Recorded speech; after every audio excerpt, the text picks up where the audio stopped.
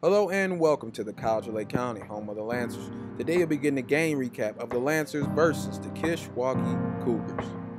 And before we give you the update, please be sure to follow us on our social media platforms.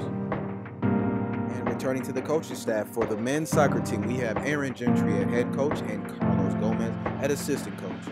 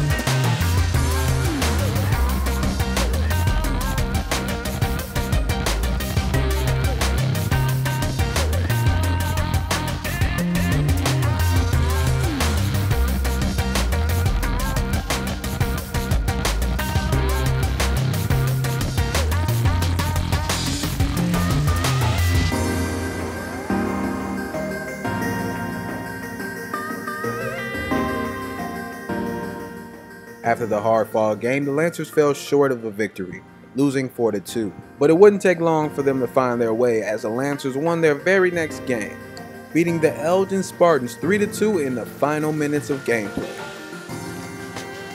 And that's it for this recap.